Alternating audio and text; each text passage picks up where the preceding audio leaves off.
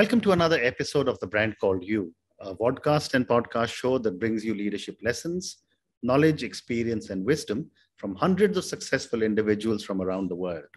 I am your host, Ashutosh Garg, and today I'm delighted to welcome um, a very accomplished professional turned entrepreneur from South Africa, in Johannesburg, South Africa, Viloshni Moodley. Viloshni, welcome to the show. Thank you so much. I'm really honored to be here. And um, yeah, I'm really humbled by the invitation. Thank you. Uh, Viloshni is the founder of Ultimacy Online. She's a certifi- certified loveologist and she's been recognized and felicitated several times. So, uh, Viloshni, we'll, let's talk about Ultimacy Online. But before that, I want to ask you that after 25 years in the in corporate South of South Africa, you founded Ultimacy Online. What was your motivation to become an entrepreneur? And tell me about the venture. Um, I think it was more my passion um, um, to actually uh, empower women. Um, I was, you know, I had a very successful career um, for uh, 27 years long um, in a male dominated environment as mm-hmm. well. Mm-hmm. Uh, and it was extremely amazing because I got exposure to so many areas that I would ordinarily not have. Mm-hmm. Um, but the one thing that I came across is um, women who faced the very similar circumstances as I had, where, um, you know, brought up in very conservative homes, um, no sex education, and it's almost like you an adult and you're navigating your way through okay. uh, through life. And um, you know um, and and that was that was really it was my passion that that that made, led me to um, my purpose. And thus the uh, formation of ultimacy online. Okay. And you said that you know you are a certified loveologist. Help yeah. me understand this Okay, so basically, the term loveologist mm-hmm. is uh, someone who's a specialist in um, love, sex, and uh, relationships. Mm-hmm. You also get a sexologist, and a sexologist is us- usually someone who has a PhD. Mm-hmm. So I don't have a PhD. However, I've done all of the um, you know all of my um, studies with regards to sex love and uh, and relationships and helping people or should i say guiding people to navigate through these. Wonderful. So you know this is these are challenges uh, Viloshni, which i think every human being faces everywhere in the world. And i think you're doing an amazing uh, service to humanity if i can say that. But tell me what are some of the sexual health challenges which are faced with by people. And if you can share some anecdotes without giving any example any names. Yeah. So uh, that's that's basically a very brilliant question. And you know that is basic, uh, basically one of the vi- my long-term vision is to change the stats um, with you know with regards to sexual health issues. Um, you know in the country that i live in uh, gender-based violence and sexual health issues really are almost pandemics on their own. Mm-hmm. Um, and many countries around the world face, face similar. So HIV/AIDS uh, being the biggest, um, amongst other, you know, STIs um, and STDs, mm-hmm. and these are basically brought brought about by unsafe behavior, okay. and it's the lack of, you know, people understanding, um, you know, what the consequences are of unsafe behavior by mm having too many partners. And it's also through violation, um, you know, where people are raped and they then contract um, HIV and AIDS. Mm-hmm. Um, you know, people that are also kind of living with um, certain, um, it, it, it's not really, I don't want to term it as an illness, mm-hmm. but people that are addicted to porn, uh, to mm-hmm. sex, and that sort of thing, and don't know how to actually reach out for help. Um, and and they are basically the people that find themselves um, most of the time in these um, in these situations. Mm. We also have, um, you know, an increase in, in fads like uh, yoni steaming, um, you know, yoni pearls, and and all of this that is being, you know, advertised, and and people are always on the lookout for these type of things to improve, um, you know, they, their own self-image of how they see themselves, how their performance is, etc., mm-hmm. which is, you know, our bodies are made to, you know, clean itself mm. to we don't need to do all of these things mm. but without information people don't know and right. these can be quite extreme with you know pelvic inflammation inf- infections uh, people can go through toxic shock. So these are some of the you know the sexual health uh, challenges that are faced. And these are not isolated to any one group of of people if i can you know make that statement. Interesting. And yeah. uh, you know the subject of intimacy and sex you know are a taboo in most societies all over the world. Yeah. Um, how are you handling such subjects? So um, in, in responding to this i do not mean any disrespect. Yes, um, but but i'm going to be as open as mm-hmm. as possible because you know that's just my nature in terms of you know how i speak and address about address certain things but with all due respect. So intimacy is key to to human development. Mm-hmm. and intimacy is not sex mm-hmm. so you know for us to thrive as human beings we require intimacy and we require intimacy on different levels so i'm just going to give you a very quick over you know high level overview of mm-hmm. the you know four types of intimacy so we have emotional intimacy where, you know, one just feels very comfortable to share feelings openly, whether they're positive or negative. Mm-hmm. Then you also have intellectual uh, intimacy where um, you know, one can share ideas, opinions openly, um, get into a debate to share their point of view. Um, we then have uh, physical intimacy, which is, you know, being sensual and sexual obviously with um, you know a significant other um, and lastly we have experiential intimacy which is based on activities and that's how bonds being formed. So basically intimacy is a bond in in layman's terms. That's what it is. It's you know it's really nothing to do with with, with sex. Sex however is a second natural instinct. Mm-hmm. And that comes after survival. So you know people need to gain their own understanding um, on what their religious beliefs are mm-hmm. and what their moral beliefs are. Mm-hmm. Versus the taboo okay. that exists in their mind and i also feel that you know even though the taboo exists um, people cross boundaries to suit themselves. Mm-hmm. You know, and that's the unfortunate thing. Whereas when it is education and it is about informing, um, you know, people want to say, no, it's not allowed. But it is a better approach to actually have an educated, you know, nation mm-hmm. instead of people finding out on their own and trying to um, you know, um, how can I say, understand this and make sense of it because mm. not everyone is at the level of maturity to be able to digest such information. Fascinating. So, you know, uh, Viloshni, you're in a, in a, in a country uh, which is which is relatively, what would the right word be, uh, conservative. What have been some of your challenges in building an, uh, you know, a venture like this? Um, so to be really honest with you, it's you know I think there's challenges everywhere.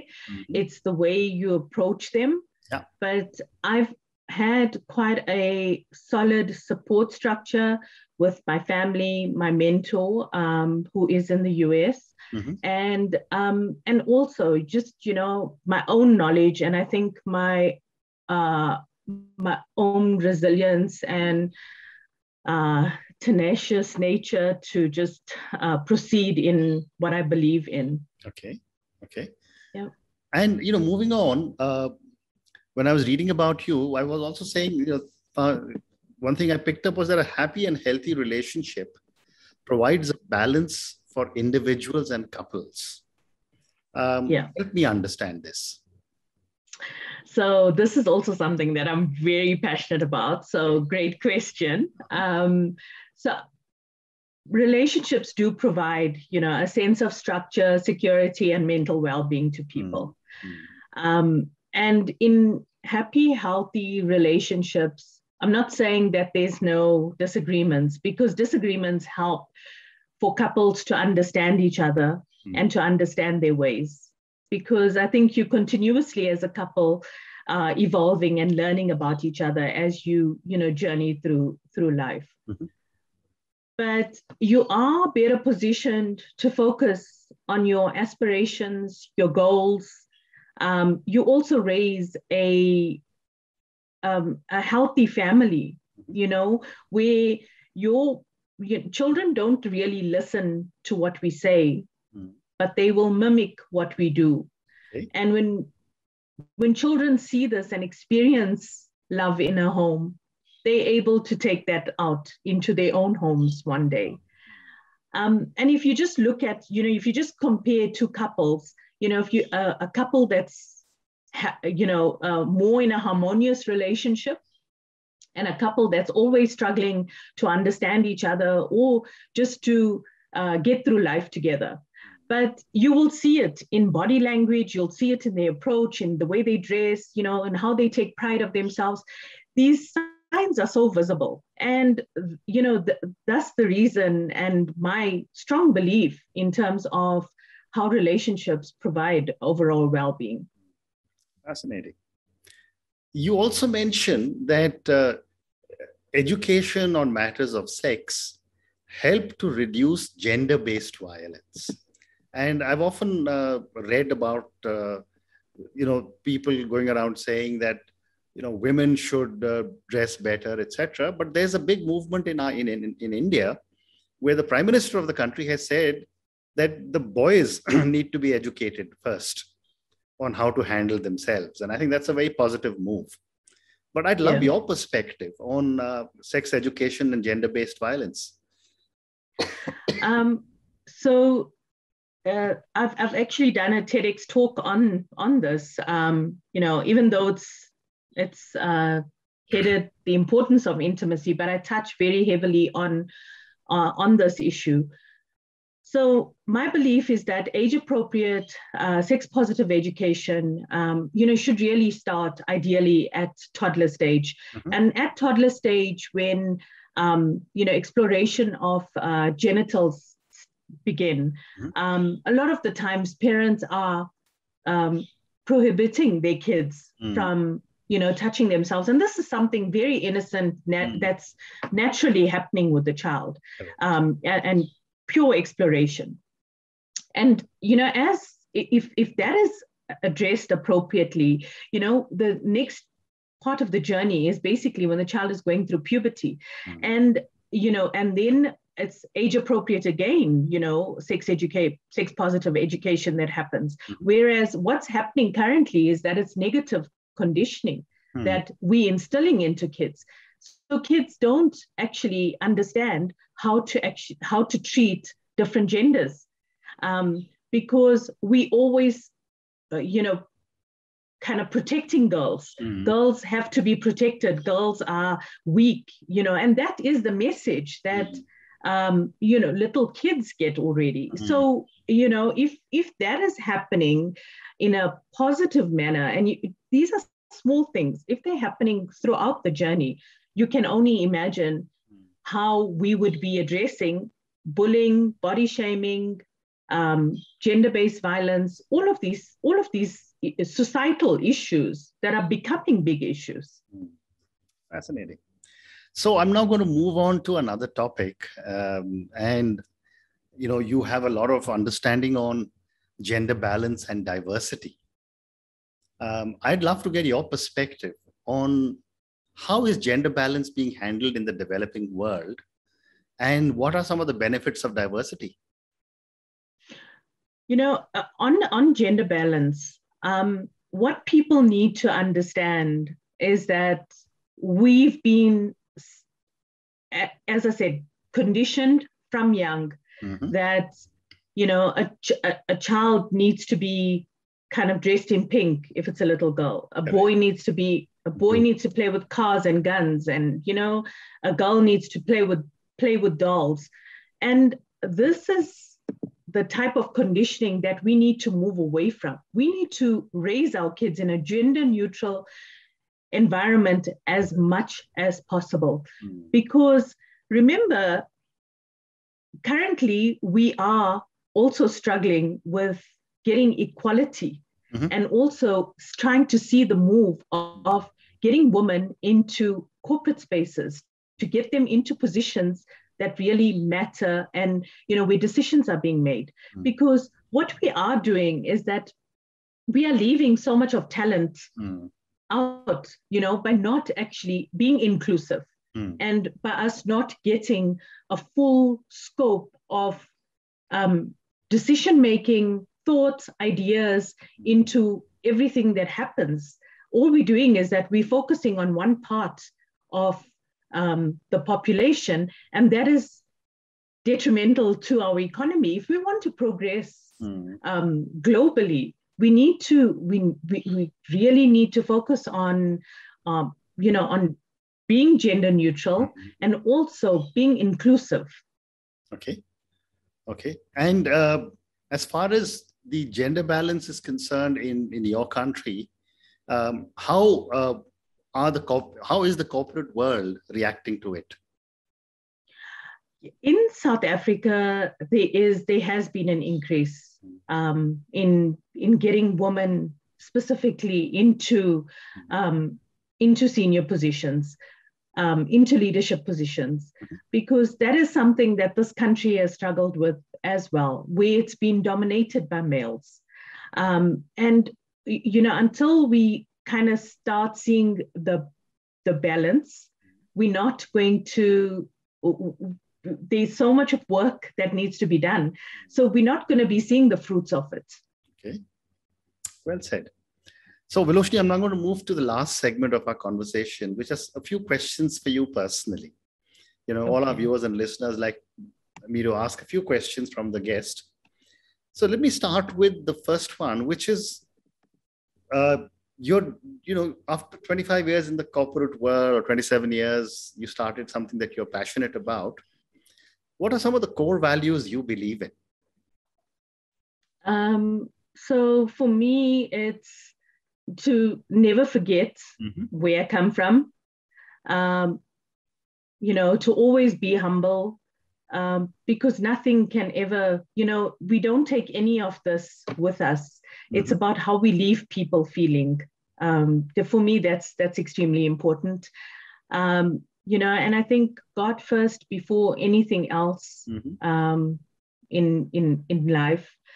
Um, I'm also not a judgmental person, and I also believe that you know I uh, do my best to also pass that message on to people, um, even though I can't change the way they look at the world. Sure. Um, and and just being you know true to myself okay um, my next question to you is that from where you stand today what does success mean to Viloshni? Success for me is having a peaceful night's sleep, uh, being gifted with a new day and new opportunities. Um, and you know, the other thing is that um, in I go with um, Mahatma, Mahatma Gandhi's uh, quote, which um, he said, "Be the change that you want to see." Mm. Well and and that's and that's what success is to me. Fabulous. And a follow-up question to success is: Who or what inspires you?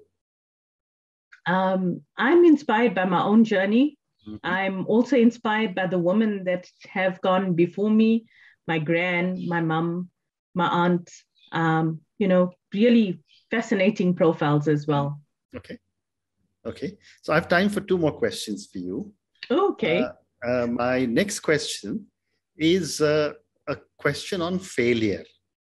And um, I have often said that parents in South Asia or Asia don't teach children it's okay to fail. We are always taught come first in class, go to the head of the line, etc., etc. And that manifests itself in our behavior patterns as we get older. Yet we learn, we fail and we learn.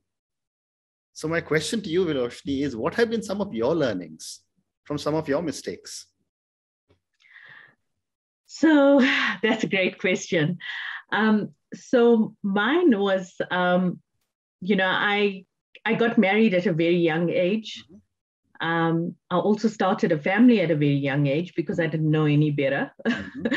and um, and and I don't really, you, you, know, if I had a chance to redo that, mm-hmm. um, I would not. I obviously would not do it, but I don't have regrets. Um, you know, with having kids young, uh, raising them, but also allowing them to make the mistakes. So I've been very different in my style of parenting. Mm-hmm. Um, whereas I've also been, you know, you need to come first in class, you need to do this. It's always about achieving, achieving, but it's never about being true to yourself and living your purpose, um, which is which is really, I mean, giving back to to people, giving back to community. You know, that is so much more important, and I think it gives you so much um, uh, more fulfillment as a person as well. Fascinating. And my last question to you, uh, and this is relatively on a lighter note, that if you, Viloshni, were a role model to millions yeah. of children who closely followed you and your life choices, what is the one thing you would change in yourself? Um, I think that would be getting married so early. Okay. yeah, that that would be the yeah. Okay, fair enough. So, um, Viloshni, thank you very much. It's been such a uh, pleasure speaking to you. Thank you for taking me down your journey and telling me so many new things about the subject of intimacy and uh, you know everything that you're doing. Uh, thank you again, and good luck. Thank you so much. I'm really so uh, honored to be on the show with you, and uh, and yeah, I just hope that there was some pearls of wisdom that uh, you know some of the listeners will get from this. Absolutely. Well, your comment on four types of intimacy, I think, was something I learned today, and I'm sure everyone's going to learn that one. I'm glad. Thank you again. Thank you.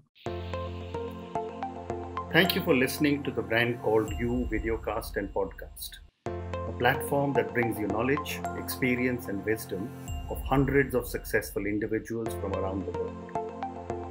Do visit our website www.tbcy.in to watch and listen to the stories of many more individuals. You can also follow us on YouTube, Facebook, Instagram, and Twitter. Just search for the brand called You.